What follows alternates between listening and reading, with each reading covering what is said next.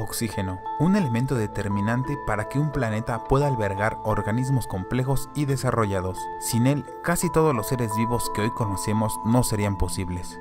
La Tierra, muy rica en este elemento, incluso presume que en su capa superficial este es el más abundante. Incluso hasta ahora, los humanos hemos llegado a la conclusión de que este elemento es el tercero más cuantioso en el universo mismo.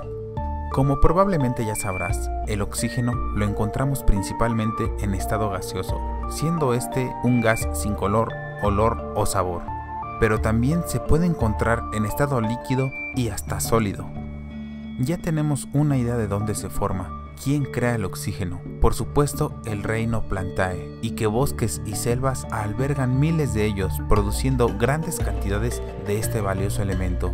Pero, ¿cuál es el mayor productor de oxígeno en este planeta? Sin duda alguna, el océano.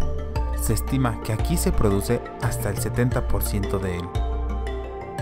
¿Por qué? Por el mismo reino que en la Tierra, las plantas, y el principal actor aquí es el fitoplancton, un productor primario en la cadena alimenticia que transforma materia inorgánica en orgánica. A pesar de su microscópico tamaño, produce grandes cantidades de oxígeno, ayudado por supuesto por el grueso de su población.